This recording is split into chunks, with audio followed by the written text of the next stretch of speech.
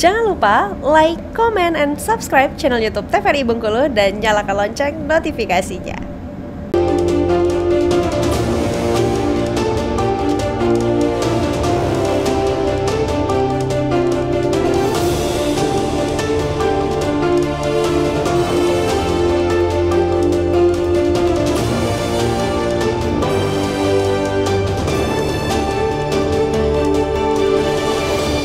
Terima kasih pemirsa TVRI Bengkulu. Anda kembali menyaksikan Berendo masih bersama saya Friko Zuhri dalam tema kali ini terkait dengan antisipasi bencana saat cuaca ekstrim. Nah tadi menarik sempat disampaikan oleh Pak Dam, ternyata memang dari BMKG juga merekrut teman-teman dari Pramuka nih Pak. Ini menjadi salah satu garda terdepan kita untuk bisa membantu masyarakat ya. Nah ini seperti apa nih Pak programnya dari BMKG sehingga uh, merekrut teman-teman Pramuka untuk bisa diberikan pengarahan gitu ya agar mereka bisa nanti uh, menerapkan hal ini di masyarakat. Ya memang awalnya kita didorong oleh pemprov ya supaya BMKG juga punya apa uh, punya sendiri gitu ya. Hmm, Jadi uh, mungkin nanti pengukuhan di bulan depan gitu ya. Tapi sebelum dikukuhkan kami sudah action duluan. Hmm. Sehingga uh, dari beberapa kali pertemuan itu kami melihat itu uh, sangat antusias itu anak-anak uh, sekolah uh, hadir untuk uh, anu kita lakukan kegiatan di BMKG seperti itu bahkan uh, kami mengingat lokasi dan fasilitas yang ada begitu ya sehingga uh, kita buat bergiliran. Hmm. Tadinya mereka semua minta numplek-plek gitu ya. Cuman kita dari sisi SDM personel kita terbatas, iya. tempat kita juga terbatas. Kemudian kami juga baru memulai seperti itu ya sehingga memang uh, ke depan mudah-mudahan lewat uh, pramuka ini kami juga berharap bisa uh, menciptakan kader-kader yang uh, tangguh bencana seperti hmm. itu sehingga di tengah-tengah masyarakat mereka ini juga bisa mengambil peran ke depannya membantu ataupun bersama-sama dengan kita semua yeah. karena kita sudah sampaikan tadi bahwasanya bencana itu tidak diurusin oleh satu instansi atau hmm. tapi menyeluruh kita semua seperti itu sehingga dibutuhkan sinergi antara pemerintah masyarakat dan yang lain-lain seperti itu sehingga kita bisa saling menguatkan, saling menopang begitu ya, sehingga uh, ketika itu terjadi kita bisa sama-sama ya selamatlah gitu ya. ya Tujuan kita kan itu Pak, selamat. Ya, artinya ini dalam bentuk sinerginya salah satunya bersinergi bersama dengan teman-teman pramuka. Hmm, ya, salah satu betul, bentuk ya. bagaimana nanti mereka bisa menerapkan ilmunya hmm. sehingga bisa membantu masyarakat apa ya. sih sebetulnya bisa dilakukan untuk langkah pertama. Ya, nah, kalau kita bicara soal langkah pertama sebetulnya masyarakat ini penting gitu, Pak. Hmm. Nah, kira-kira ada nggak Pak untuk masyarakat sendiri ada simulasi yang diberikan mungkin dari pemerintah sendiri untuk menghadapi bencana? Karena bencana ini tidak hanya tadi soal banjir ya, Pak, hmm. tapi terkait dengan tsunami, terkait hmm. dengan tanah longsor dan sebagainya. Apalagi sempat tuh kemarin ada angin puting beliung Hmm. Ini juga salah satu bentuk bencana yang mungkin harus masyarakat waspadai. Gimana nih Pak? Uh, baik, kalau kalau terkait dengan simulasi ataupun ya, geladi ya, uh, kebetulan Provinsi Bengkulu nih, Provinsi Bengkulu sudah menyusun menyusun yang pertama uh, gempa bumi ya. yang berpotensi tsunami. Tentunya uh, menyusun sebuah rencana hmm. kontingensi yang akan menjadi rencana operasi ini mengacu kepada analisis yang ada di BMKG. Nah, terus uh, kalau terkait tadi kita pembahasan pada hari ini kan terkait dengan cuaca ekstrim nih. Uh, indikasinya kan terkait dengan banjir nih. Banjir kita baru kita susun tahun ini. Insya Allah mudah-mudahan clear. Uh, kalau udah clear and clean kita akan melakukan simulasi. Nah, kalau terkait dengan simulasi seluruh seluruh sudah uh, di bulan awal-awal bulan yeah, yeah. Uh, sampai ke pertengahan saya sama tim ini sudah membantu salah satunya uh, rutan rutan okay. uh, wanita kita terkait dengan gempa bumi. Okay. Nah, kita buat dua nih skenario. Kalau malam apa yang dilakukan?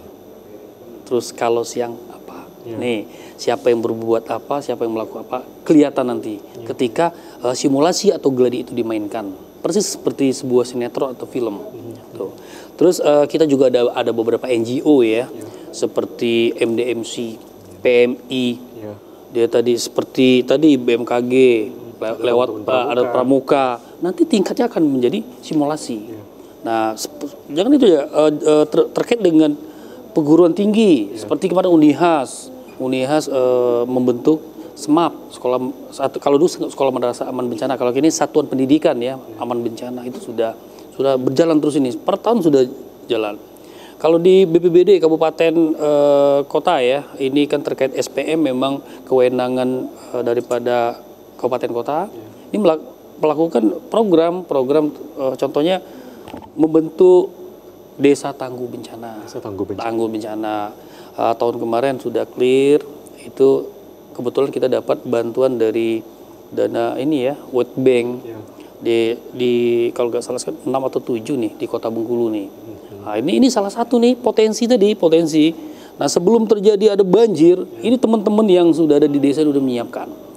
Yang bisa menyelamatkan diri itu bukan pemerintah, Ya. bukan dunia usaha, bukan masyarakat, tapi diri kita sendiri melakukan evakuasi sendiri. Kita contohkan tadi ya Pak eh, Damani, kita contohkan tadi seandainya na- nanti ini kan umpama nih, umpama terjadi gempa bumi berpotensi tsunami. BPBD dan lintas sektor belum akan turun dulu. Sudah peringatan sudah clear, kita sama-sama.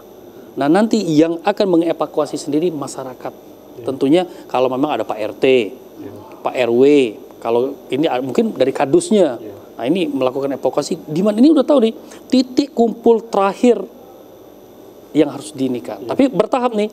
Pertama nih ada posisinya eh, tempat sementara, Ya. tempat Evakuasi akhir. Sementara gitu. Nah, kita contohkan nih Evakuasi di di Pantai Panjang. Iya. Nah, ini posisi di stadion belakang ini posisi eh, sudah aman. Mhm. Tapi paling akhir adalah di di Stain. Di Stain. Di Stain ya. Ah, itu Stain itu. Win kalau gini, Win. Iya, Itu paling akhir. Nah, ini sudah dibentuk lewat eh, rencon kita. Mhm. Jalur mana nih? Karena kalau nanti terjadi kita contohkan hazard gempa bumi berpotensi tsunami, kan nggak mungkin akan menumpuk. Iya. Kita mengantisipasi penumpukan. Ah, kita bisa mengacu ke tahun 2000-an ya, Iya. 2000 itu di jalan raya hibrida itu macet total. Tuh, akibat tadi belum tahu nih Ya. jalur evakuasi kita ke mana? Di mana? Tuh. Iya. Padahal udah jelas nih lewat stadion kan Bengkulu di kota Bengkulu ini kan ada tiga nih, Iya. tengah ada pinggir ada dua. Iya. Nah lihat lihat ini Di pinggir. di pinggir nah nih di pinggir tapi tentu lihat-lihat nih Ada jalur evakuasi. jalur jalur evakuasi. Ini salah satu bentuk upaya yang mungkin bisa dilakukan oleh masyarakat gitu ya. Bagaimana pembelajar ataupun evaluasi yang diberikan ataupun simulasi-simulasi seperti itu ya Pak. Jadi masyarakat tuh sudah tahu katakanlah ketika terjadi suatu bencana. Nah kalau kita bicara soal gempa juga tadi Pak ini menarik. Gempa ini kan salah satu bencana mungkin yang kita juga nggak tahu kapan terjadinya walaupun sudah ada prediksi gitu ya Pak. Nah bahkan ini bisa mem- eh, apa ya memunculkan eh, tsunami dan lain sebagainya. Ini potensi. Masyarakat ini banyak belum tahu nih ini berpotensi atau hanya diprediksi gitu. Kadang prediksi masyarakat sudah berpikiran oh ini udah potensi tsunami ini gitu ya. Jadi kekhawatiran dan juga kecemasan masyarakat nih. Seperti apa Pak? Ya, jadi begini memang ya banyak pertanyaan berkaitan eh, terutama dengan megatrust ya. Jadi memang itu eh, berdasarkan kajian Ya. eh, itu juga kajian bukan sebulan dua bulan BMKG lakukan sehingga kita bisa mengetahui ini loh potensi daerah kita ini seperti ini. Ya. Sehingga kita menyampaikan itu supaya pihak-pihak terkait bisa mempersiapkan. Ketika benar-benar terjadi seperti itu, kita itu sudah tahu harus ngapain. Ya. Karena memang sampai hari ini kan gempa bumi itu belum ada yang bisa memprediksi. Ya, Maka memang kita harus mengedukasi masyarakat, memberikan pengetahuan kepada masyarakat sehingga ketika itu terjadi mereka sendirilah nanti yang akan melaksanakan evakuasi mandiri. Karena keterbatasan aparatur, ya. satu, yang kedua jarak ya.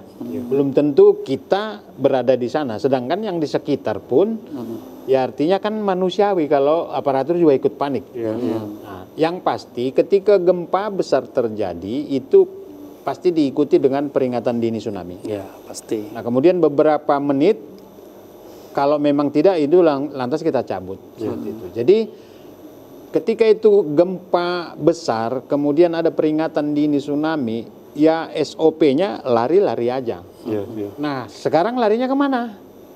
Nah, itu pentingnya kita juga mensosialisasikan jalur-jalur evakuasi tadi. Karena di beberapa eh, kejadian itu bukan karena gempanya tetapi karena desak-desakan mas Kena panik. sebagian ada yang maksa bawa kendaraan bawa Iya, mobilnya mobil. nggak boleh ini padahal jalanan udah penuh. Nah ini kadang-kadang maksa akhirnya celaka karena ah, banyak sang nah yang kedua pemerintah daerah juga harus itu menyiapkan jalur evakuasi ini lewat mana. Ya, ya. karena kita tahu sendiri jalan-jalan kita kadang orang jualan di tengah jalan bahkan sampai eh, pinggir jalan diisi. Nah kalau ini berisi kejadian lewat mana lagi gitu. Jadi memang harus ada nanti jalur yang khusus yang benar-benar bisa mengarah ke tempat aman tadi. Karena kita tahu Bengkulu itu kan flat pak, dataran ya, tidak ada langsung mentok gunung gitu ya. Tapi landai ya, sehingga memang eh, ketika itu terjadi sa cuman satu pak lari sejauh mungkin Ya.